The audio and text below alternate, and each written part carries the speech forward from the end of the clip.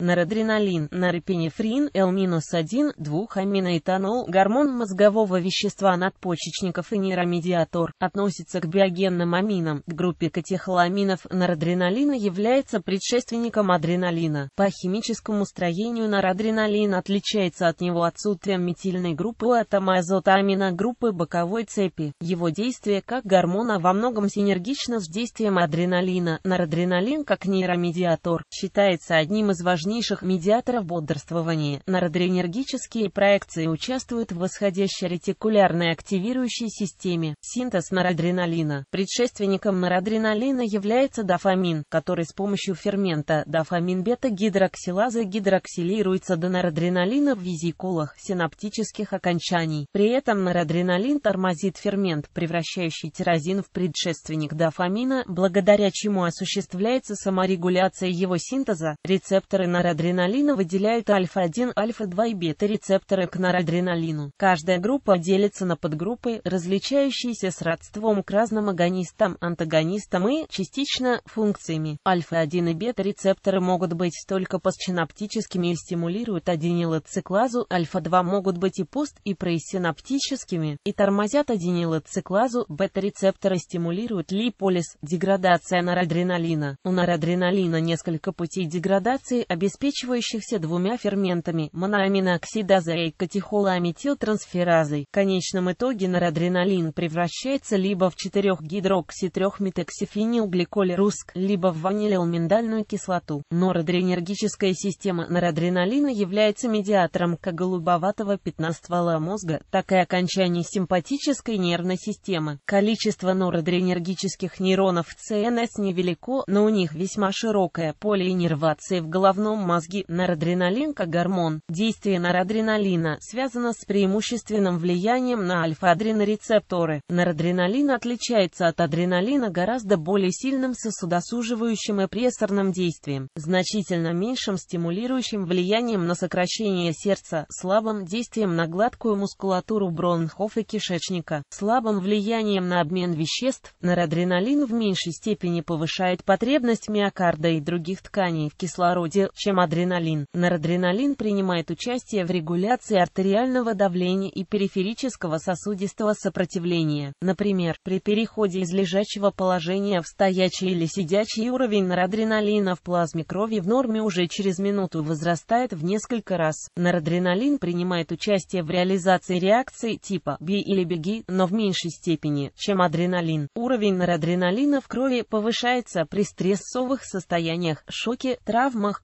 кровопотерях потерях, ожогах при тревоге, страхе, нервном напряжении. Кардиотропное действие норадреналина связано со стимулирующим его влиянием на бета-адренорецепторы сердца, однако бета-адреностимулирующее действие маскируется рефлекторной брадикардией и повышением тонуса блуждающего нерва. Вызванными повышением артериального давления норадреналин вызывает увеличение сердечного выброса. Вследствие повышения артериального давления возрастает перфузионное давление в коронарном коронарных и мозговых артериях. Вместе с тем, значительно возрастает периферическое сосудистое сопротивление и центральное венозное давление. Норадреналин как лекарственное средство, фармакологическое действие норадреналина определяется с преимущественным влиянием на альфа-адренорецепторы. Отличается от адреналина более сильным сосудосуживающим и прессорным действием, меньшим стимулирующим влиянием на сокращение сердца, слабым бронхолитическим эффектом, слабым влиянием на обмен веществ. Кардиотропное действие норадреналина связано со стимулирующим влиянием на бета-адренорецепторы сердца, однако бета-адреностимулирующее действие маскируется рефлекторной брадикардией и повышением тонуса блуждающего нерва, вызванными повышением артериального давления. Введение норадреналина вызывает увеличение сердечного выброса, вследствие повышения артериального давления возрастает перфузионное давление в коронарных артериях, вместе с тем значительно возрастает периферическое периферическое сосудистое сопротивление и центральное венозное давление. Применяют норадреналин для повышения артериального давления при остром его понижении вследствие хирургических вмешательств, травм, отравлений, сопровождающихся угнетением сосудодвигательных центров и т.п., а также для стабилизации артериального давления при оперативных вмешательствах на симпатической нервной системе после удаления феохромоцитома и ДР.